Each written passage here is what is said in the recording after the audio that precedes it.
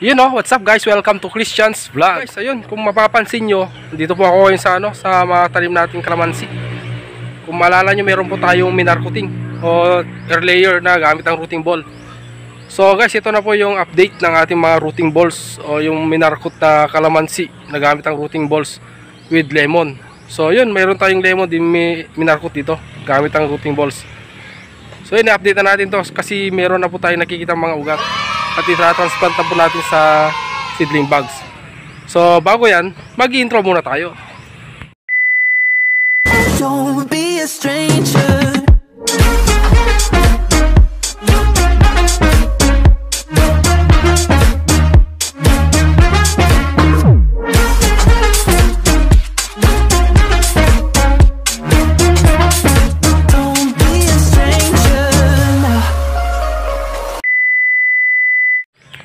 So ito na guys yung mga ano natin, yung mga ginamitan natin ng routing balls. Yan no. So yan guys, meron po tayong 10 o siyam ata yun na ano na air layer natin. So ito po yung mga ano natin, mga routing balls natin na marketing o or layering. Kasi yan, mapapansin nyo, mayroon ng mga sanga dito sa baba niya kasi hindi na po makadali yung masyadong masustansyang ano, area niya. So ito hindi na po ano to, hindi na po magsasanga to. Ito na po yung pinaugat natin. So yan, i-check na po natin yan at kukunin na po natin lahat to kasi meron na po silang mga ugat. Ito yung kalamansi and ayan, kalamansi pa rin. Ayan yung mga ano natin. Try natin po, magbubukas po tayo dito sa dito sa lemon. Ito po yung mga lemon natin pero hindi na natin buksan kasi kung itututok natin yung cup. So yan o, yan o. Mapapansin nyo yan, may ugat na yung kulay puti na yan. Yan, ugat na po yan. Dito rin sa mga ibang ano natin, lemon natin. Ayan no, lumalabas na po yung mga ugat. Ito po oh. Try natin buklatin. Sana hindi masira yung lupa na ano nakabalot sa kanya. Para hindi po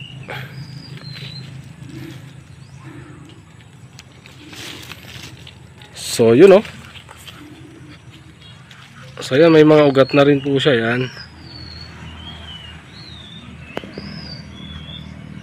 Yan po oh. Babalik lang muna natin para pag kinat natin, yun, doon na lang natin tatanggalin sa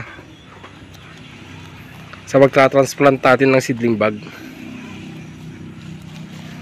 So yan, ganyan na lang. Tatanggalin din naman natin. So yan pa yung mga iba. Kailangan kasi natin magtanim ng maraming mga ganito kasi sa panahon ngayon. Kailangan ng mga katawan natin ng vitamin C. So malaking tulong to pag sa ano, sinasawsaw sa mga ulam. Ito yung kalamansi natin, check na rin natin kung meron na rin. So itong kalamansi ay yun, may ugat na rin kaso konti pa lang. Ayan. Ito po, ayan puti na yan.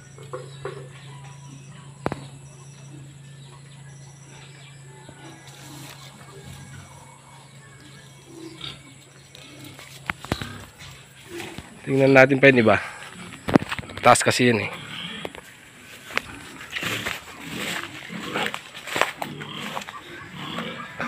So ito. Try natin itong buklatin.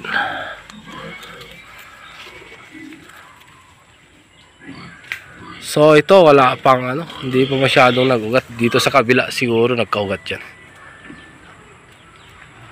Ayun, meron na rin konti kaso ayun oh. Nagsisimula pa lang magugat. Ayun.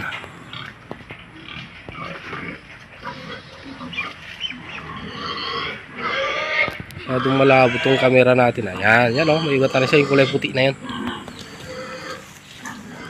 Ibig sabihin yan, Hayaan na lang muna natin yung mga kalamansi. So yung mga lemon lang ang ita-transplant natin kasi yun yung sure na sure na po yung mga ugat niya. Mas mabilis po pala mag-ugat ang lemon. Nasa 3 months, ay 3 months, nasa 3 weeks po kasi pa lang to eh. Kung makikita nyo dyan sa previous vlog natin yan. Nasa 3 weeks pa lang po yung pagitan. Ang marketing kasi po, nasa 45 days. So yun kasi mabilis naman po yung ano natin, lemon natin, pwede na po yun.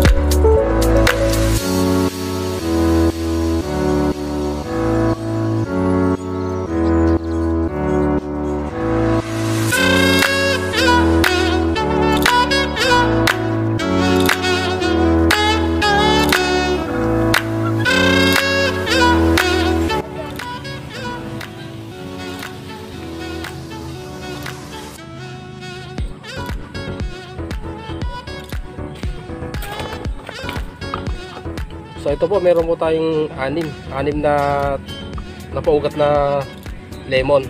So ito lang po muna yung i-transplant natin. Kasi yung mga kalamansi natin masyadong maliliit pa yung ugat. Kaya ito na lang po muna yung transplant natin kasi sobrang dami na po yung ugat. Pwede, pwede na po i-transplant to. So, yun guys, samahan niyo po ako. At kasama din pala natin si ano si Tishang. Yan. So yun guys, pupunta tayo sa ano natin sa ginagawa natin nursery. Eh. Mainit kasi dito guys. Ayan, oh, nilagyan ko ng lit. Yan si Tishang, yan, nakapasok na. Muna nang pumasok. Ah, yan, pinagpapawisan tayo kasi kakagaling lang natin sa ano sa sipon at ubo. Medyo yung boses natin medyo namamarat kasi sa kakaubo natin.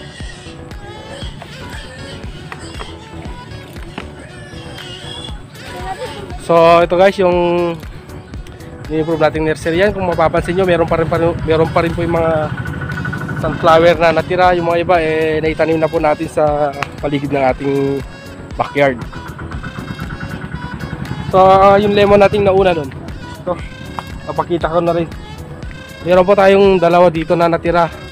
So yan maganda pa rin yung tubo niya. And then ito yung may bunga. Na isa yan oh. Isa lang. Pero okay na rin kasi yan dito lang naman sa ano, sa seedling bags.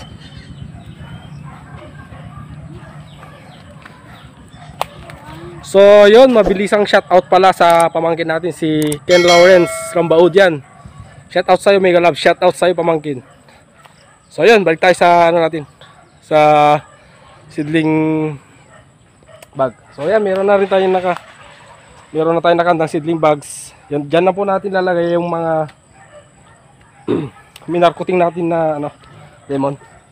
So, nag-accept tayo ng kala ko mapwede na yung mga kalamansi. So, yun, hindi pa pala pwede kaya So, yung lemon na lang muna ang i-transplant natin dito.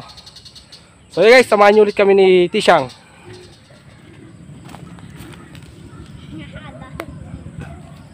So, ito na guys, yan yung transplant natin. I-check natin kung may mga ugat. Isa-isayin natin po. So, try na natin itong malaki. Kasi, di pa natin natitignan to kung may ugat na. Pero tansya ko may ugat na mga to kasi sabay-sabay naman sila.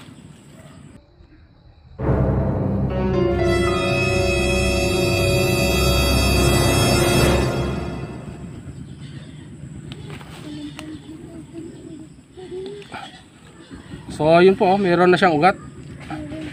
Tatan itatalimin na po natin to. Pero sana nun, mas mali binuksan natin kasi kukunti pa yung ugat, sayang naman. Pero okay na yan, mabubuhay na rin naman to. Ayusin na lang natin yung pagtra-transplant. Ito, nakita ko yung kanya.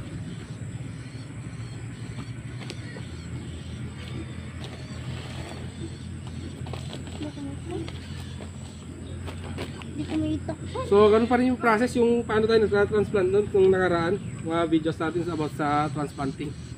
Sa kalamansi, andyan po sa mga previous video natin. Ito. Hindi ko makapos.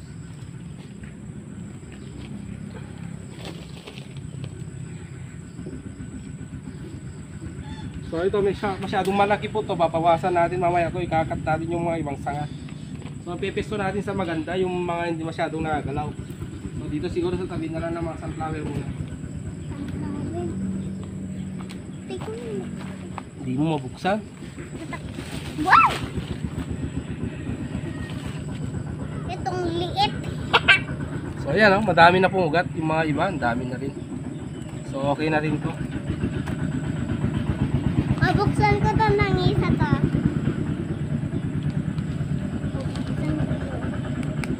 Uy. Uy. To. Ang dami ng ugat. Sige, punta mo dito.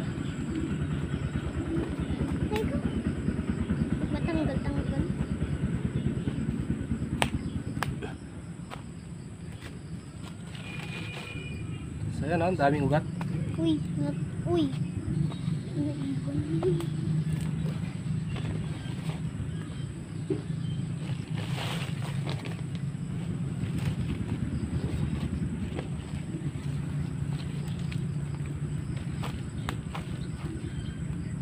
Buksan mo na. Hindi mo alam?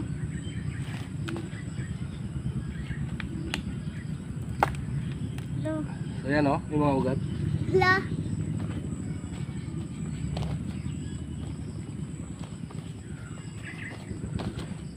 To. To. To. To. To.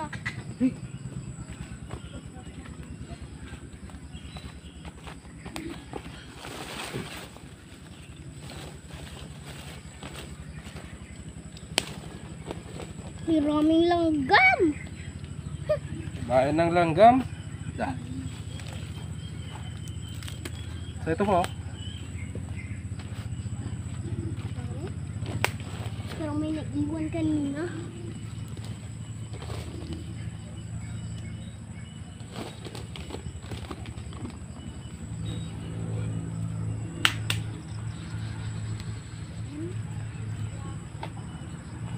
Yan yung naiwan. So, yun nga po. Yun, ganun pa rin. I-process natin. at Babawasan natin yung mga ibang sanga or yung matataas na sanga. Para tuloy-tuloy na po yung ano niya, survive niya.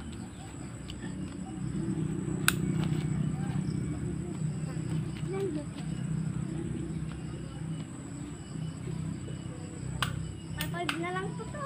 Hmm? Kapag na lang. Ito